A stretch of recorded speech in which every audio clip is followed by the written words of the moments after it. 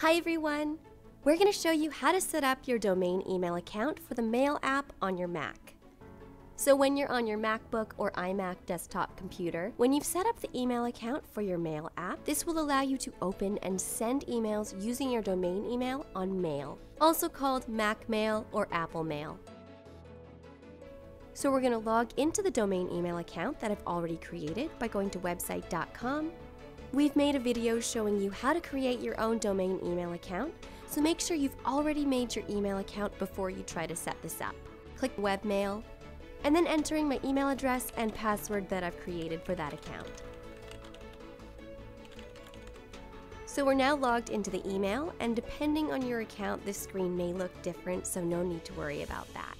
I'm just going to copy this part of the URL between the slashes, and we'll use this later when we need to enter the incoming and outgoing mail server when we add this email to Apple Mail. And again, depending on your account, this URL may be different from the one on my screen, so this is how you find the incoming and outgoing mail server for your own domain email account. Now I'm going to open the Mail app, which is on my dock right here. Now choose Other Mail Account as the mail account provider and then click Continue. Add your name and the domain email that you created with website.com and the password for that email.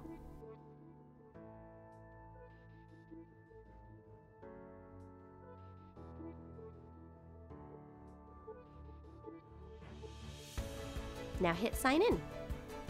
And the username, which is just the email address again,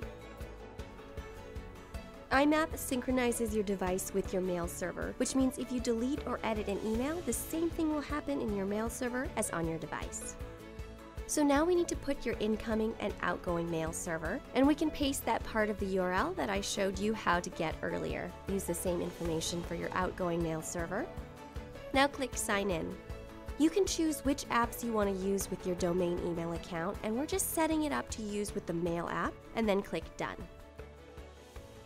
So you may see this option to protect mail activity. This is a feature from Apple that hides your IP address so that email senders won't be able to see your IP address, your location, or whether you've opened the email.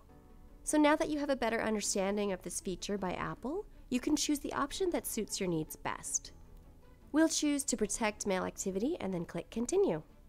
And that was the last step. Now you can see you've added your domain email account to your Mail app, so you can send and receive emails using the Apple Mail app. Don't forget to subscribe to website.com to find more tutorials for your website and business. Thanks for watching.